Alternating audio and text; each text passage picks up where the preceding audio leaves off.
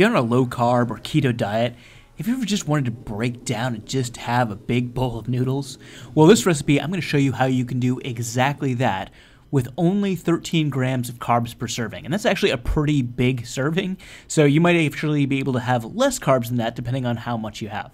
So let's go ahead, dive in, and take a look at how to make this delicious chili garlic noodles made with tofu slices.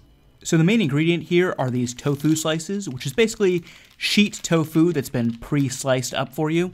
For some reason, they don't cut all the way through the tofu. I don't really understand why. I think the next time I make this recipe, I'm just gonna buy the sheet tofu and slice it myself. But anyways, this sheet tofu has a great texture. It's kind of springy like noodles would be. And then when we treat it the way we're gonna treat it, which is we're gonna boil it in baking soda, it's really gonna have that texture of noodles and it's gonna lose a lot of that sort of grassiness that you get from tofu. So it's really gonna have a nice fairly neutral flavor, just like a regular noodle. This recipe is vegetarian, but I think this would also be great with ground meat too. But for the vegetarian version, I'm using carrots, mushrooms, scallions, ginger, garlic, the tofu sheets, a bit of Korean chili pepper, and some baking soda, and of course the tofu slices. And also a couple tablespoons of this vegetarian oyster sauce. So to get started, we're going to bring six quarts of water to boil. So we're just going to get that started while we prep the rest of our ingredients.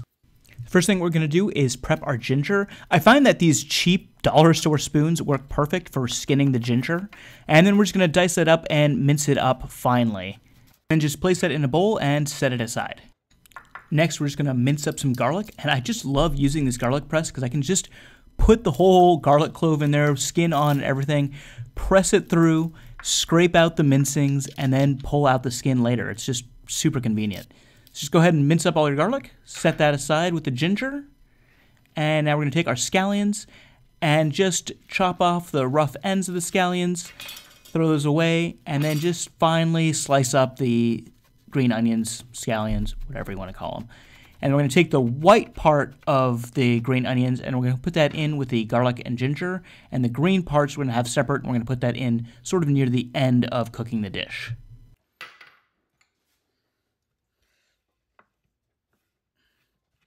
Next up, I've got three shiitake mushrooms here. I'm just going to slice off the ends of those shiitake mushrooms and then roughly chop them. And I'm going to put them into a food processor along with the carrot and the carrot and the shiitake mushrooms are kind of substituting in for what I otherwise might use ground meat for. I'm to use the attachment for my hand blender to blend this up with or to chop this up with. Um, it's a little food processor attachment. I do have a real food processor, but they're just such a pain in the neck to take out. Unfortunately, this one is terrible and it really doesn't work that well. So if you have any suggestions for good hand mixer food processors, please let me know down in the comments below. As you can see, I've got giant chunks of carrots in there. The bowl is really small. It just doesn't really work very well, but it does get the job done good enough for this at least. And then we're just going to put the carrots and the mushroom aside. And now we can go ahead and prep our tofu slices. I picked these up from my local Chinese store. There's a ton of different options. Tofu sheets and tofu slices like this. This one here, I just chopped off the part that was already sliced and then just sliced the part that wasn't sliced yet. Our water should be boiling now, so we're just going to toss in the baking soda and then toss in the tofu slices. Mix it all up a little bit, bring it back up to a boiling, and boil for about four minutes. And then go ahead and strain it. And then we just want to rinse it off in the sink just to get rid of any of that baking soda flavor.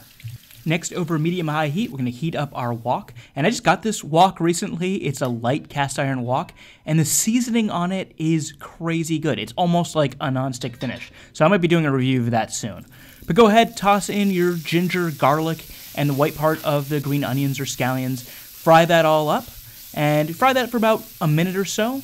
And then we're just going to go ahead and toss in our carrots and mushrooms. I'm not to use it all, the carrots, I'm kind of a big carrot there. And then just fry that up for another minute or so.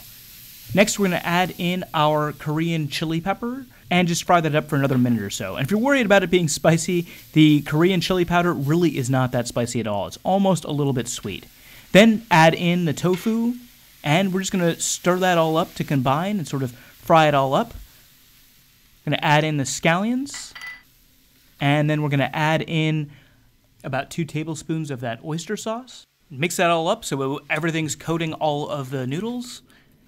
And cook that until it's all heated up for about another one to two minutes. And that's really it. The only thing we gotta do now is just pull it out of the wok, put it into a bowl, and start eating it.